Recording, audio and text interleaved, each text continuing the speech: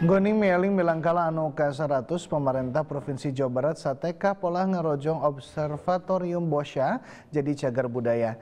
Eta halte minangka wangun pangrojong sangkan waragat tur aturan bisa lebih gampang kasalurkeun. Kukituna ilmu pangawaru ngenaan keastronomian begitu mewuh di Indonesia utamana di Jawa Barat. Dina umurna nuka 100 observatorium Bosya yang harapan pasualan nu kawilang kompleks. Polusi cahaya ngabalukarkeun panalungtik bangga kernetenan kaayaan antariksa, utamana nalika fenomena anu ngandung sajarah karandapan. Minangka salah saiji tarekah keur ngungkulanana, pamarentah Provinsi Jawa Barat satekah pola nataharkeun observatorium Bosya minangka cagar budaya, sangkan eta lelewak bisa diriksa eta status G mampu ngarojong jenglengan waraga serta aturan kerbosya.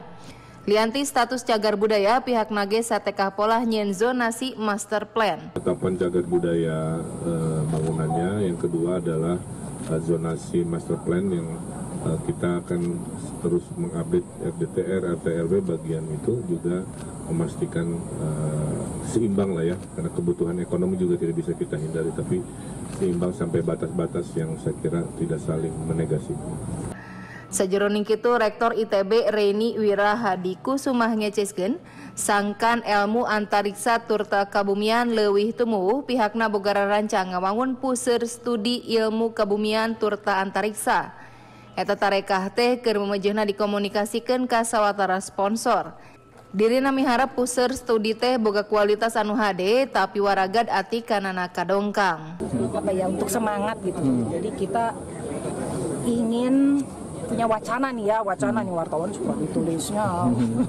baru wacana Siap. ingin membuat pusat studi ilmu kebumian dan antariksa Siap. jadi bukan hanya astronomi tapi ini multidisiplin jadi ada pusat studi antariksa atau namanya nanti mungkin ilmu kebumian dan antariksa bisa namanya bisa hmm. macam-macam tapi hmm. perlu ada uh, pusat studi itu kita sudah ada ya gambar-gambarnya, ancar-ancarnya, cita-citanya, wacana ada, sudah juga mengkomunikasikan ke beberapa sponsor ya yang kita undang juga hari ini biar ya itu begitu sama-sama merasa ini sama-sama penting kan semua uh, gotong royong gitu bantu.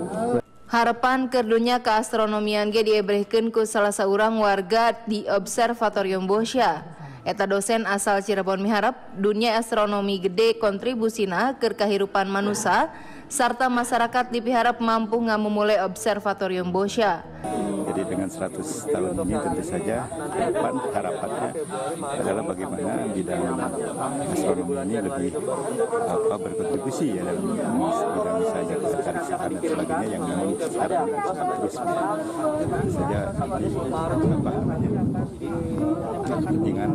buat manusia ya. Jadi satu bidang yang saya kira sangat penting jadi dengan 100 tahun ini tentu saja.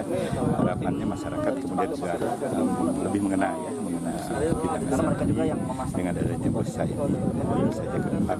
Mereka bisa apa namanya dalam petik ya akan dapat dapat melestarikan. Seestuna Observatorium Bosya mengrupa institusi atikan serta pusir panalungtikan keastronomian anu kontribusina lain ukur ke Indonesia tapi oge ke sakuliah dunia. Bosya dirong istimewa lantaran pernahna di daerah ekuator anu bisa nitenan langit kaler jeng kidul. Budi Hartati, Bandung TV